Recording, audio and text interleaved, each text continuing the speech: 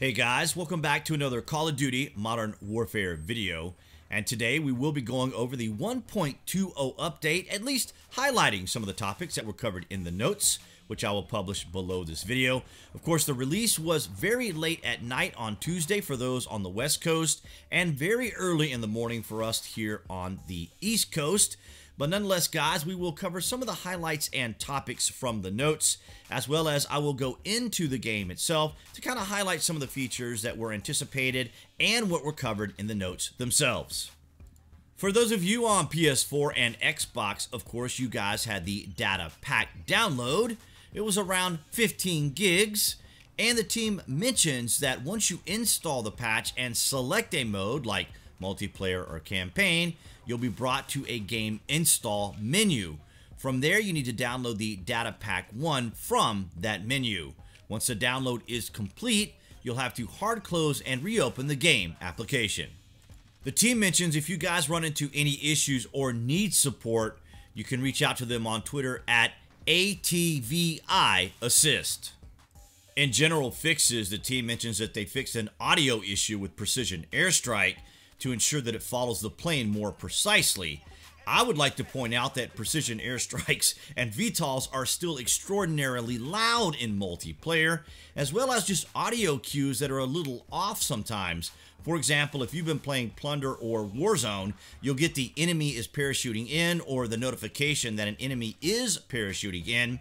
And oftentimes, you won't even see the player anywhere within your vision or on any indicator or for example on your heartbeat sensor, you won't see him anywhere. But occasionally he'll say enemy is parachuting in and by the time he says the word enemy, the enemy is already behind you and you're most likely already dead. So we'll see if perhaps the team will address those particular problems as well. The team also fixed a bug where players using KBM in-game battles could make custom weapon blueprints that could also be used in multiplayer and Warzone.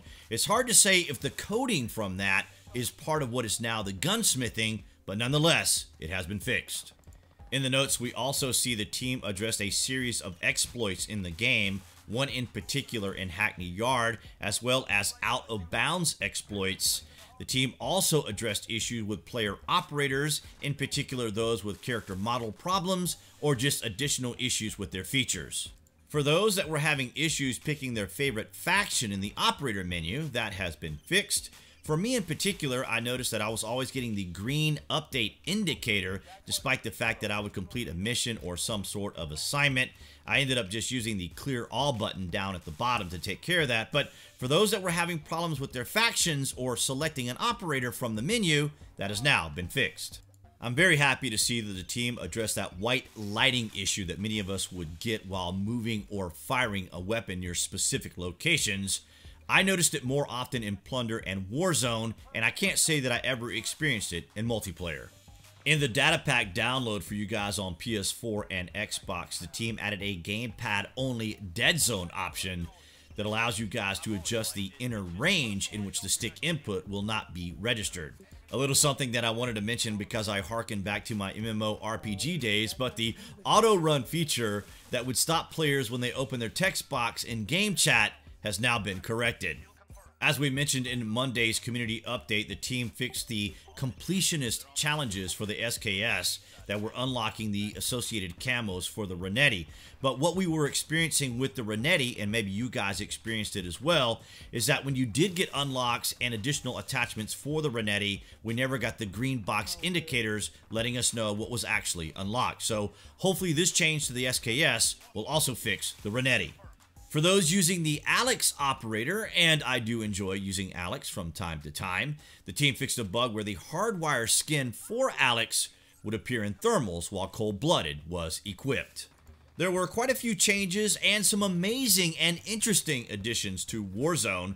One in particular that was a cause for concern was after being brought back into a match, players were unable to access the team's loadout drop. So I'm happy to see that that has been addressed. That only happened to us, I think, maybe one time playing Warzone, but nonetheless, I could see that being a persistent issue if it wasn't fixed in this update.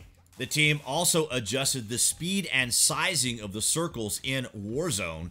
It would appear, and as far as we can tell, they shaved off a few seconds at the very beginning of the game before it goes into the second circle, and then from the second circle on, the team actually added time to the times of when the circles would close.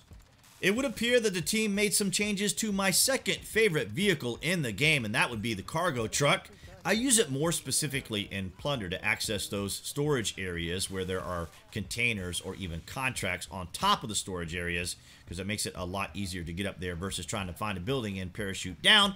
But nonetheless, guys, they have added it back into the BR solos, but they reduce the turning speed, acceleration, and top speed, which of course will be felt in Plunder as well.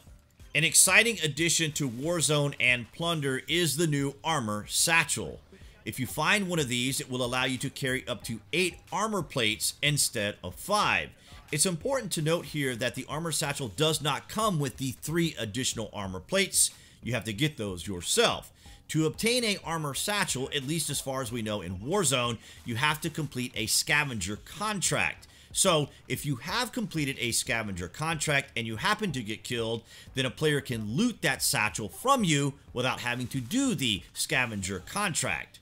It's important to note here that those that were doing the scavenger contract to then get gas mask, well, the armor satchel now replaces that gas mask, but the gas mask will remain a rare loot and can still be purchased at a buy station. There was a pretty extensive list of fixes to special operations, but I'll let you guys check those out point by point with the update notes link below this video. Rounding it off for those on PC, the team did fix the Vega 64 GPU issue, where it would cause corrupted outlines around their character models and weapons.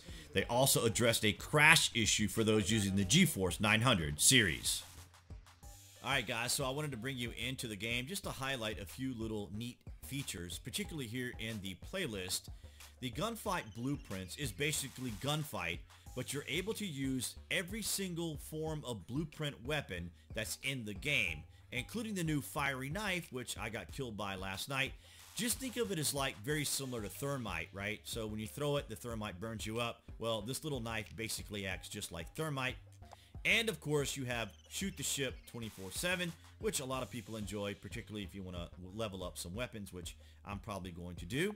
But what I really wanted to show you guys here as well, or more importantly, is over here and show you guys how gunsmithing works. So it is kind of a new and neat feature in the game, which I think a lot of you guys will probably appreciate. So basically what you do is when you go into your weapons and say go to a particular attachment, just click on that. And very much like when you're selecting your different guns that have the blueprints already associated with them, it works pretty much the same way. So we're just going to go down here to this one and we're going to select the blueprint to the right of the you know attachment and click on that.